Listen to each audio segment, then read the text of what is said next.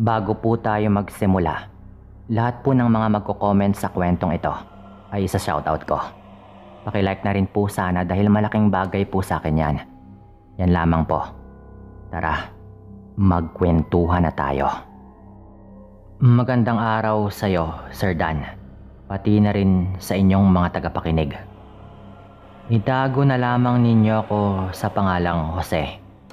Gusto ko lang na ibahagi sa inyo itong naging karanasan namin ng aking asawa na tawagin po nating Che. Nang mga panahong ipinagbubuntis nito ang aming panganay na anak.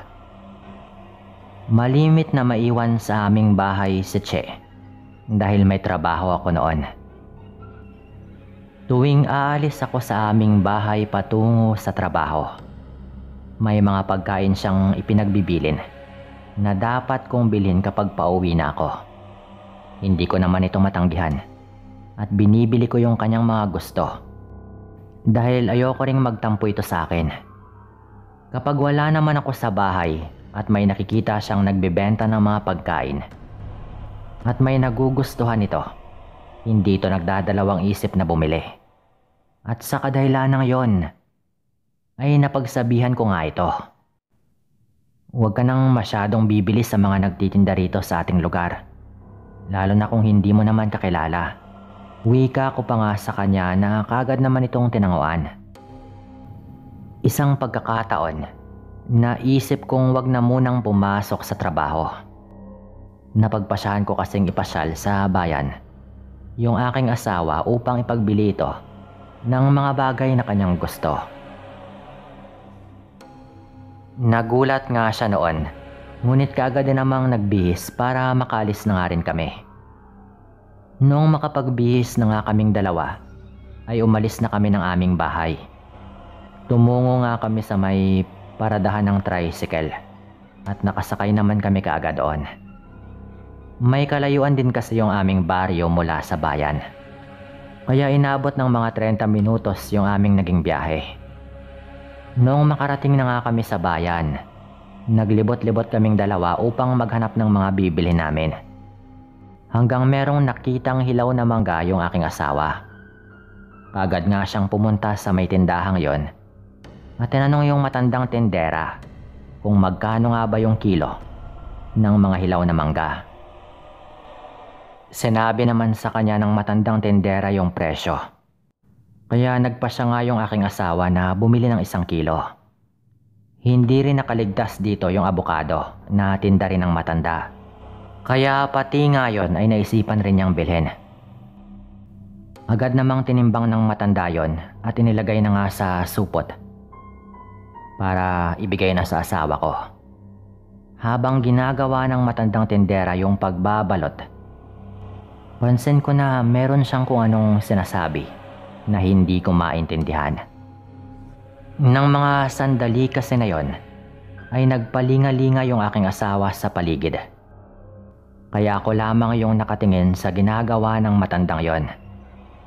Labis yung pagtataka ko dahil tila dinadasalan pa po nito yung binili ng aking asawa. Kaya nagtanong nga po ako rito. Tapos na po ba ninyong ibalot? Ito po yung bayad namin. Wika ko pa nga po noon.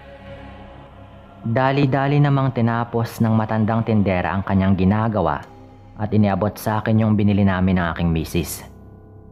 Kinuha niya rin yung bayad namin, kaya nagpasalamat na nga rin kami dito at umalis. Niyaya ko na yung aking asawa na tumungo sa ibang tindahan upang maghanap ng iba pa nitong bibilhin. Bago kami tuluyang makalayo sa tindahan ng matandang yon, ay napalingon pa nga ako roon at nakita ko siyang nakatingin sa aking asawa habang nakangisi. Dahil nga sa nangyaring yon, niyaya ko na lamang yung aking asawa na umuwi na rin ng bahay. Sumangayon din naman ito sa akin dahil bigla raw na sumakit yung kanyang tiyan. Umuwi na nga kaming dalawa noon, dala ang mga pinamili namin. Nang makarating na kami sa aming bahay, kagad akong inutusan ng aking asawa na ipagtalop siya ng kanyang biniling hilaw na mangga dahil gusto raw niyang kumain noon. At syempre, ginawa ko naman po yon. Habang binabalatan yung dalawang manggang kinuha ko, naisip ko noon yung nakita kong ginawa ng matandang tendera. Iniisip ko kung ano yung binubulong nito ng mga sandaling yon. Hanggang sa iwinaksi ko na lamang yon sa aking isipan. Tinapos ko na lamang yung pagtatalop at ibinigay sa aking asawa upang makain na nga rin ito. Napangiti na lang ako nang makitang sarap na sarap siya sa manggang yon. Kinagabihan po noon, habang nakahiga, ay panay yung pagpapalit-palit ng pwesto ng aking asawa. Tila hindi ito komportable at hindi rin makatulog. Sa kadahilan ng yon, ay napatanong na nga rin ako sa kanya. May problema ka ba? Bakit hindi ka yata makatulog? Tanong ko pa nga po noon. Napakalinsangan kasi ng paligid. Isa pa, sumasakit talaga yung tiyan ko eh. Tugon naman po nito. Dahil doon, napabangon ako sa aming higaan at kinuha ko yung langis. Pinahiran ko yung kanyang tiyan dahil naninigas daw yon at kumikirot. Pagkatapos ko nga pong gawin yon, pinilit na rin niyang makatulog. Ngunit talagang hindi niya nga magawa. Hinawakan ko naman yung kanyang tiyan at nakapa akong tila tumitigas na nga rin po yon. Ganon nga po yung nangyayari. Nang bigla na lang naming narinig ang mga pag-alulong ng mga aso sa aming paligid. Nagtaka ko dahil hindi naman ganon kaingay ang mga aso ng aming mga kapitbahay. At isa pa, medyo malayo nga yung agwat ng kapitbahay namin sa aming tinitirhan. Dahil nga doon, nakaramdam na ako na tila may kakaiba sa aming paligid. Naisipan kong lumapit sa may bintana upang sumilip sa may labas. At nang makasilip na nga ako, napansin ko na hindi gaanong madilim yung paligid dahil sa liwanag ng buwan ng gabing yon. Inilibot ko yung aking paningin. Hanggang sa hindi kalayuan ay natatanaw ko yung dalawang aso. Aso po yun ng aming kababaryo. Kaya nagtaka ko kung bakit sila naroroon ng mga oras na iyon. Lalo at napakabihira lang ding mapadpad ng mga yon doon sa amin. Umaalolong at tumatahol din po ang mga ito. Kaya napagtanto ko na sila yung may gawa ng ingay sa paligid. Ang hindi ko lamang mawari ay kung sino yung tinatahulan nila mula sa kanilang kinaroroonan. Iginala ko na lamang yung aking tingin hanggang sa may naaninag ako sa may gilid ng puno na nasa tapat ng aming bahay. Sinipat ko ng mabuti yon at nagulat ako nang mapagtantong tila hulma ng tao yung aninong naroroon. Ang labis ko pang pinagtataka ay kung bakit merong mabahong amoy sa paligid. Gayong parang wala naman po yun kanina. Sino yan? Anong ginagawa mo riyan? Sigaw ko pa nga po noon. Dahil sa pagsigaw ko na yon, parang otomatikong tumahimik ang mga nag-iingay na aso.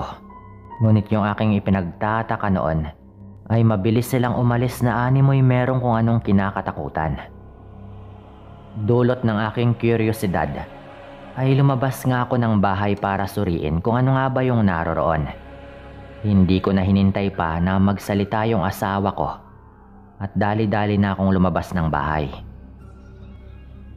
Noong nandoon na nga ako, napahinto ako at inaninag kong maigi kung sino nga ba yung nakatayo sa may tabi ng puno.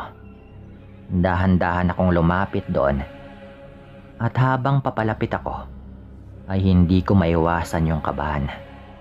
Ipinagpatuloy ko na lamang yung aking paglalakad patungo sa parting yon.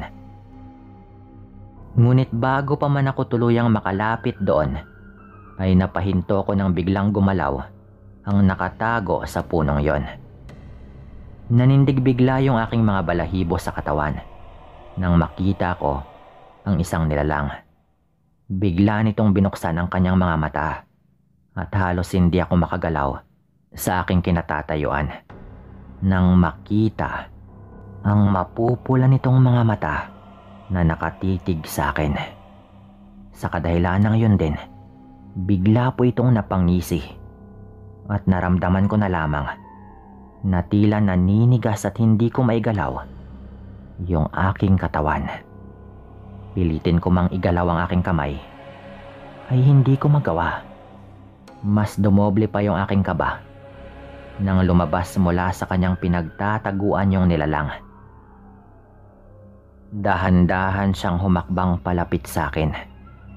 Kaya mas dumoble pa yung takot na aking naramdaman. Hindi ko alam kung ano yung aking gagawin noon. Lalo pa tila mas naging mabilis yung paggalaw nito. Patungo sa akin. Nang mga sandaling yon, naisip ko na baka may kung anong ginawa yung aswang na halos hindi na nga po ako makagalaw. Parang naunahan po nito ako. Dasal na lamang sa isipan yung aking nagawa ng panahong yon. At nang malapit na nga po sa akin yung nilalang, naramdaman ko na lamang ang mainit nitong hininga sa aking leeg. Gusto ko rin pong maduwal ng mga sandaling yon dahil sa hindi kaaya-ayang amoy ng nilalang. Walang ano-ano ay bigla po itong umangil na animoy nagugutom. Pinanindigan ako ng aking mga balahibo sa batok dahil doon. Kahit na ninanais kong kalabanin yon, ay hindi ko magawa dahil tila meron po itong orasyong ginawa na parang orasyong pamako ng mga sandaling yon kaya hindi nga ako makagalaw. Nagsimula na rin noong manginig yung aking tuhod dahilan para dahan-dahan akong mapaluhod sa lupa. Pakiramdam ko, nang hihina ako dahil sa takot na bumabalot sa aking sistema. Muli pang humuni yung aswang. Tsaka ito, parang merong sinabi. Hindi ganong maintindihan ng kanyang boses pero kahit papaano, naunawaan ko yung kanyang ibig sabihin. Sabik na sabik daw siya sa sanggol na nasa sinapupunan ng aking asawa at gusto raw niyang kainin yon. At pagkatapos niya nga pong sabihin yon, ay napasigaw yung aking asawa. Doon na nagkaroon ako ng lakas ng loob para po akong nabuhayan noon at nagising. Inakma kong suntukin yung nilalang na nasa harapan ko.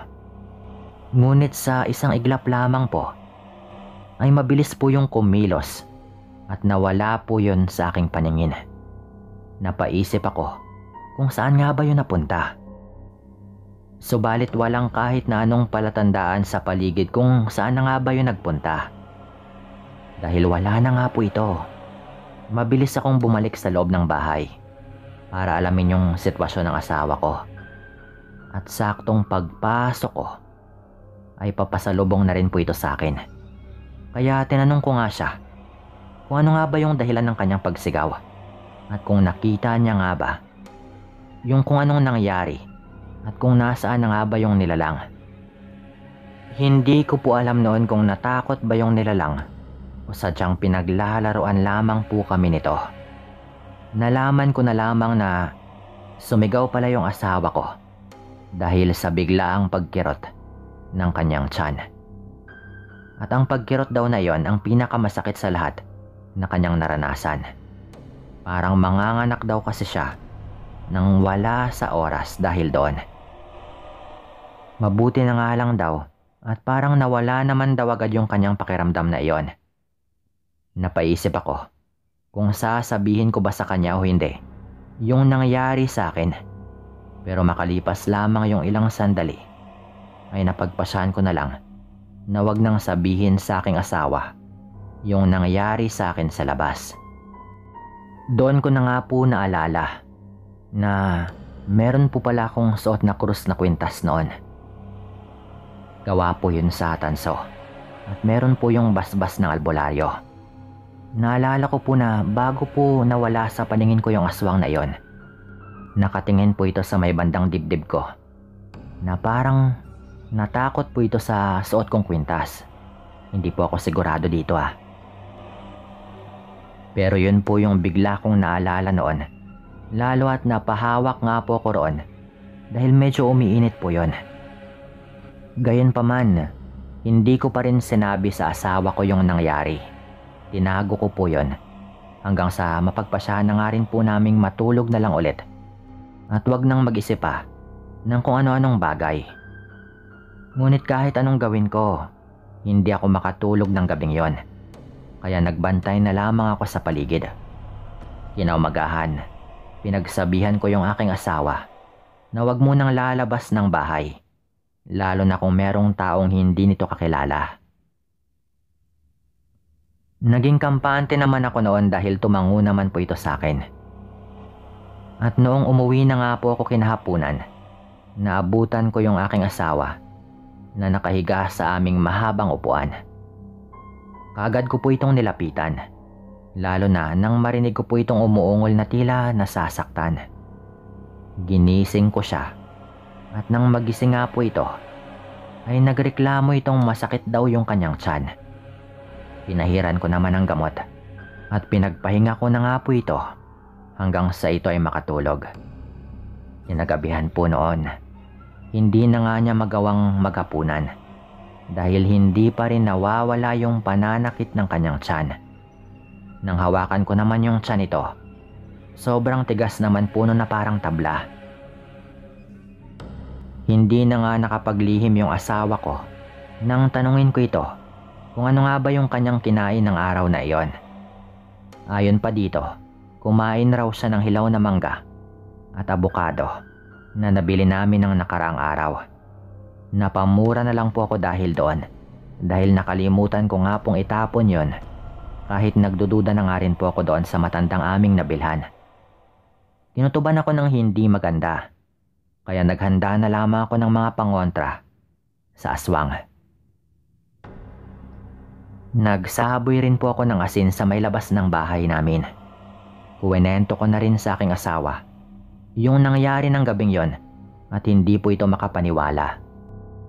Lalo na nga po doon sa parte na talagang hindi ako makagalaw. Dahil parang may kung anong orasyong ginawa sa akin yung aswang na iyon. Huwag ka nang mag-alala at hindi makukuha ng aswang na iyon yung ating anak. Sabi ko pa nga po rito para kumalma po ito. Hindi nga ako nagkamali ng gabing yon dahil binalikan nga kami ng aswang na yon. Ngunit sa pagkakataong yon, naging agresibo at tinangka na po nitong pasukin yung aming bahay. Ngunit mabuti na nga lang at napansin ko rin po kaagad yon. Noong lumabas ako sa aming bahay noon upang harapin ito, hindi po ito nagpakita sa akin Bagkus. Naririnig ko na lamang ang walang tigil niyang paghuni na animoy masaya po itong pinaglalaroan ako. Hanggang sa hindi ko inaasahan na may matanaw akong hulma ng tao sa hindi kalayuan. Patakbo kong pinuntahan yung direksyon na iyon. At labis po yung aking pagkagulat nang mapagtantong pamilyar po yung taong yon. Napamura ko nang maisip yung matandang tindera na pinagbibila namin ng mangga ng aking asawa. Hindi na ako tumuloy pang habulin ito, lalo na't unti-unti na po itong nawawala sa karimlan. Binalikan ko po yung aking asawa at laking pasalamat ko noon na maayos naman po yung kanyang lagay. Maging yung pananakit po at paninigas ng kanyang tiyan ay nawala na rin. Nang gabing yon, hindi ulit ako natulog at nagbantay ako sa paligid. Natakot ako noon na baka maulit pa po yung ginawa ng aswang. Ngunit hindi na po nangyari yon. Siguro ay dahil nakapaghanda na nga rin po ako ng mga pangontra. Kinaumagahan para masiguro ko yung sitwasyon ng aking asawa at anak. Dinala ko nga po sila sa doktor at pinatignan. Maayos naman daw yung lagay nila. Ngunit hindi nga ako kumbinsido. Kaya pumunta nga rin po kami sa albularyo noon din, nalaman naming meron talagang nais kumuha sa aming sanggol. At muntikan ng araw itong magtagumpay ng kainin ng aking asawa. Yung pagkain nitong merong dasal. Ayon pa sa albularyo, mukhang pinaglalaroan daw muna kami ng aswang na ito. Mabuti na nga lang daw at pumunta kami sa kanya. Ginawan po niya kami noon ng mga pangontra na isuot daw naming mag-asawa. Yung matandang tendera talaga yung tinutukoy ng albularyo. Hindi pa nga po ako noon na kontento dahil talagang sigurista po ako. Pinapunta ko sa bahay namin yung albularyo. At may kung anong orasyon po siyang ginawa at meron po itong pinahid sa aming mga haligi, pintana at mga pinto. Upang wala raw talagang mangangahas na pumasok sa bahay namin. Malamang naramdaman na rin daw ng aswang na yon na humingi na kami ng tulong sa albularyo at magdadalawang isip na raw yung bumalik. Tama nga po noon yung albularyo dahil pagkatapos po nun, wala naman na kaming naramdaman kung ano. Naging matahimik na rin po yung aming mga gabi hanggang sa makapanganak na nga po ng maayos yung asawa ko. Pero mula po nang nangyari yon, grabe po talagang pag-iingat yung aming ginagawa. Mas mabuti nang makasiguro. Dito ko na rin po tatapusin yung kwentong ito. Maraming salamat. Shoutout nga pala kay Sweet Ducks Vlog, kay Milati, kay Joseph Arpan TV, kay Kilabot King Horror Stories, Christy Joy Elevencione, Angelo Panes, Rhapsody Porlage, Mary Jane Quezon, Arlene Besa, Rubilin Alba, Mercy Celoso, Sheila De La Cruz, Eli, Eleida Orbeta, Christian Mejia, Erlinda Manga, Resi Madrid, Mark Ianala, Mary Jane Paho, Inday Pinkay Channel, Edeline Mina, Isel Gumban, Ronaldo Cabansag, Teresita Francisco, Vincent Romarate, Jelia Martobalde, Janice Carion, Aisha Robles, Mary Asilar, Hazel Fiesta, Amina Bilaw, Julie Parcon, Neza Alemania, Kuya Dark Stories, Michelle Cedron, Sperdrill Chrome, Vincent Beranciano, Romnick De La Cruz, Mira Kitson, Leo Daban, Jessel May Libuon, Rayson Yao, Ronelyn Gallo, Edmond Vargas, James Rans Clyde, Emmanuel Tatlong Hari, John Paul Villadolid, Reyda Nagase, Gabriel Comia, Lolito Valle, Cristaling, Harold Alipala, Jasin Elgi, Jesse Limpag, Ronilyn Gallo, kay Queen, kay Glenn Carlo Rosendi, kay Maruco Official, kay Kristen Estoque, kay Lynette Reparado, kay Ping Robles, Janice Carrion, kay Atina Amistad, kay Cherry Mukbang, Jenny Maluwig, Imelda Reyes, Mr. Cool, Rexy Ann, kay Feliciana Apigo at kay Happy Grateful. Shoutout po at maraming salamat.